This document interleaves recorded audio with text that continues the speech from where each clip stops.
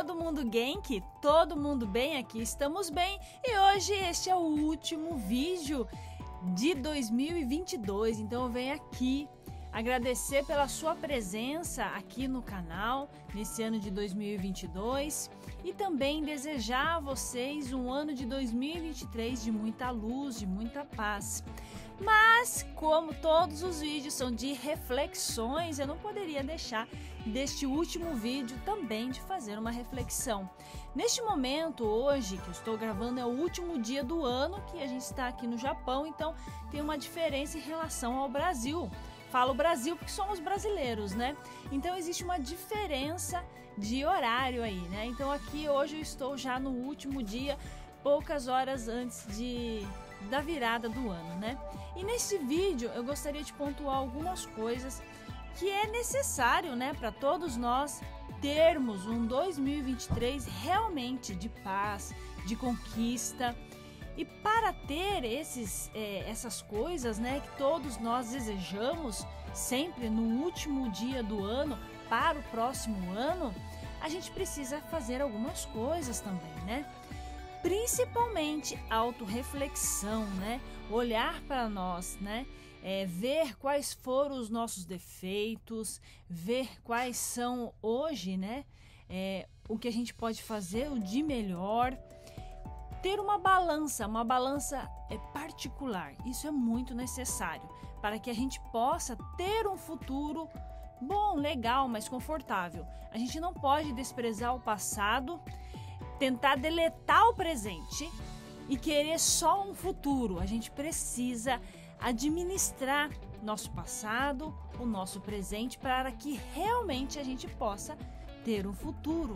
Outro elemento muito importante que a gente precisa sempre, independente se é no último dia do ano ou durante o ano, é nunca mentir para nós mesmos, né? Nesse último dia do ano, muitas pessoas acabam criando expectativas sem olhar para o presente, muito menos querer nem saber do passado, né? Então é muito importante a gente observar tudo isso, tudo à nossa volta e jamais nos comparar com ninguém.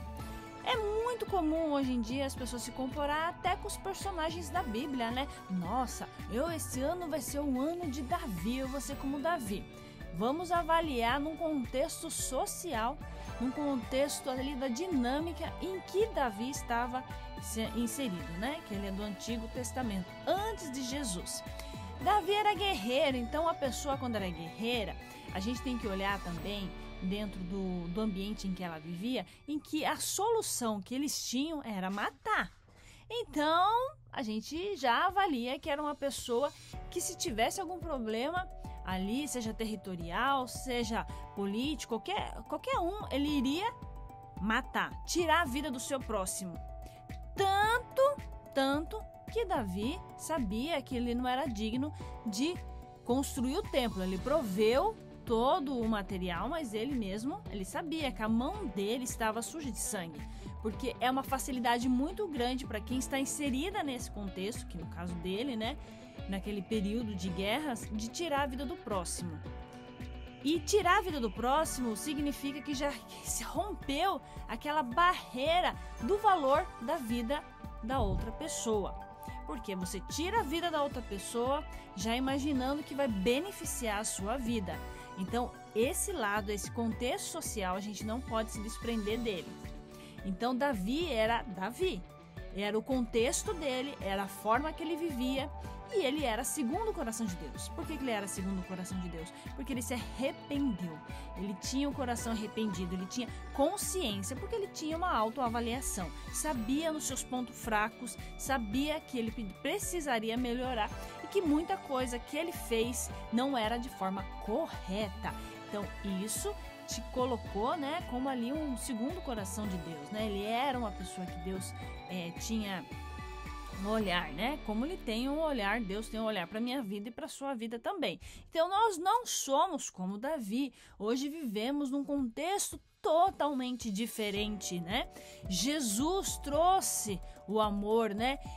Ah, é, parou, stop com a questão de guerra, dessa liberdade para resolver os seus problemas e tirar a vida do outra pessoa, tirar a vida do próximo, né? Então Deus não se agrada com guerra.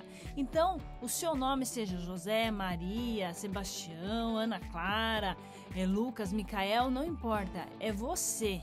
É você, a pessoa é você.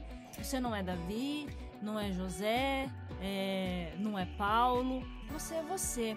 Quando a gente assume a nossa identidade, entendemos quem, entendemos quem somos, a gente vai assim com certeza criar raízes, né, mais profundas que não vai permitir que qualquer, vento, qualquer problema venha nos impedir de prosseguir a nossa jornada, porque a gente ó, é, está olhando para nós. Quando a gente olha para o outro, querendo ser como outra pessoa, seja personagens bíblicos, né? Seja outras pessoas da nossa atualidade, a gente está criando raízes fracas, né?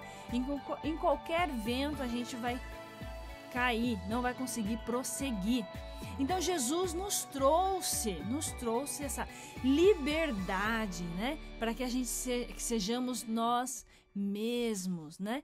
Que Deus nos criou da forma que você se vê no espelho. Então você está dentro da perfeição de Deus. E dentro dessa perfeição de Deus, Deus espera que você caminhe, progrida, né? Olhe para si, né? Faça uma autoavaliação, procure sempre melhorar. Então, para que a gente possa ter um 2023 realmente com raízes fortes, né? É, com um futuro promissor, independente do vento, independente do problema, seja em nível nacional, mundial ou particular, o vento não vai te derrubar, porque você vai estar ali com essas raízes fortes, porque você sabe quem é você. Então, procure fazer sempre o seu melhor, é, avaliando, olhando, que não pontuando o que você tem de pior. Olha para aquilo que você tem de pior, as suas dificuldades e trabalhe elas. E sempre enalteça, procura colocar aquilo que você faz melhor procurar fazer o melhor todos os dias. Independente da nossa pouca força, Deus estará conosco, porque estaremos fazendo sim aquilo que Ele deseja para cada um de nós, o propósito que Deus deu para cada um de nós: viver essa vida, viver da melhor forma possível. Então desejamos a vocês, nossa família Sapiência, família Yoshioka, um ano de 2023 de muita luz, de muita paz, que Jesus Cristo guie os passos de cada um de vocês, da nossa família também, e que 2023 seja um ano de muitas coisas boas. E coisa boa não precisa ser grande não, pequenininha, no dia a dia, no cuidado de Deus. Comece a olhar as coisas pequenas. Você vai ver ali ó, assinatura de Deus. Você vai ver Deus falando com você. Muito obrigado pela sua presença este ano, né? Aqui no canal e esperamos vocês em 2023 aqui no Sapiência. Muito obrigado, Matanê. Bye bye.